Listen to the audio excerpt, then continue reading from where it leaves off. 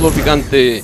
Este fue el pronóstico de Kukla frente a Argentina-Islandia. ¿Cuál es el de la mesa? Rápido, Rafa Puente, pronóstico de Argentina-Islandia. Argentina 2-0. 2-0 Argentina. Hugo. 3-0. 3-0 Argentina. Sí. ¿3 de Messi? Mm, puede ser. Puede ser. ¿Por qué no?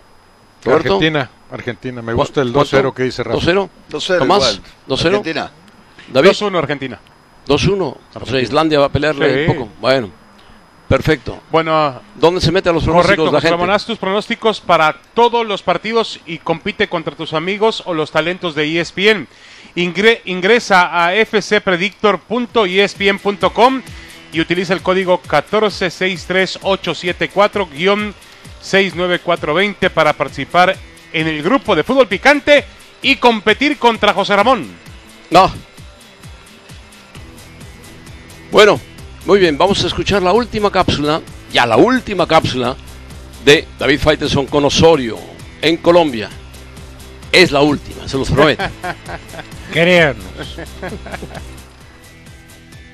Yo desafortunadamente eh, sufrí el, el atraco eh, el, no- el 3 de noviembre en Ciudad de México y ese yo creo que ha sido el único momento donde yo realmente me sentí con temor.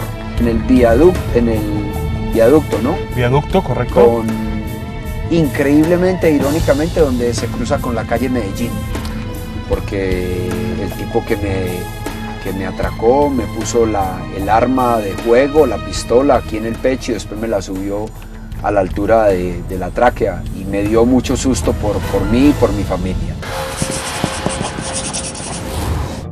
¿Qué opina, profe, del pensamiento que tienen algunas personas de que el técnico, el entrenador de la selección, tiene que ser un entrenador nativo? ¿Usted cree en eso? Sí, me parece que están en, en su derecho de pensarlo así. Así como podría estar en su derecho de pensarlo así cualquier otro ciudadano de cualquier otra nación. Ahora, obviamente que a mí me parece que en el fútbol, como en cualquier actividad de la vida, depende de, de la preparación. Y si uno se prepara, yo creo que puede competir contra el extranjero que sea. ¿Quién tendrá más presión, Peckerman o Osorio? Osorio, indiscutiblemente. Son más millones en México. Uy, y fuera de eso, la pasión que genera el- la selección en los mexicanos es, es- es algo extraordinario. Y ese es en un país, eh, profesor. El otro país es Estados Unidos, que usted lo conoce muy bien, donde también hay una pasión de casi 40 millones de personas, que también son mexicanos, mayormente. No, es que sin lugar a dudas que, que lo que se vive con la selección de México es un caso extraordinario y único. Pero corre también usted el riesgo que al final alguien como nosotros en televisión califique su trabajo por si ganó o perdió. Siempre va a ser así, David, siempre va a ser así. ¿No le parece muy cruel eso, muy, muy, cruel, injusto? muy cruel, muy cruel, muy cruel. Porque usted puede haber hecho un gran trabajo, pero lo van a reconocer por si ganó o perdió. Sí, totalmente. Profesor, muchas gracias. Muchas gracias. Eh, estar con ustedes a aprender del fútbol y de la vida. Muchísimas gracias. Muchas gracias por, por la invitación y bueno, aprovechar la oportunidad para un saludo para todos y desearles lo mejor en, en este año. Bueno, si le va a usted bien, nos va a ir bien a todos. Dios quiera que así sea. Muchas gracias, profesor. Bueno, Muy amable. gracias. Mañana Roberto Gómez Junco se sienta 1 a 1 con Juan Carlos Osorio previo al partido de Alemania. Una charla imperdible. Roberto Gómez Junco entrevista mano a mano a Osorio. Otra vez Osorio. Una charla imperdible, pero de el estilo de fútbol que practica Osorio. Mano a mano, ¿no?